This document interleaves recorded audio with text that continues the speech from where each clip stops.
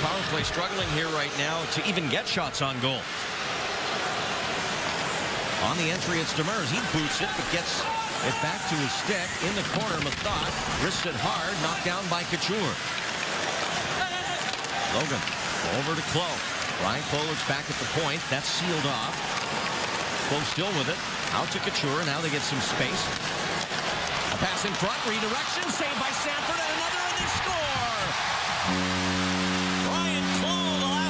touch it, I believe. And the Sharks tie it on the power play.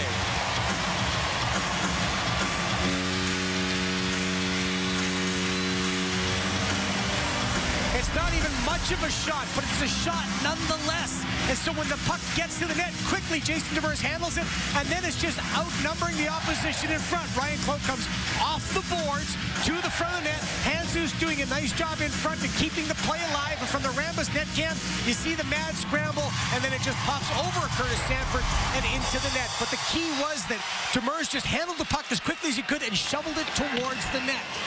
Amazing what happens when that puck gets to the net with people there.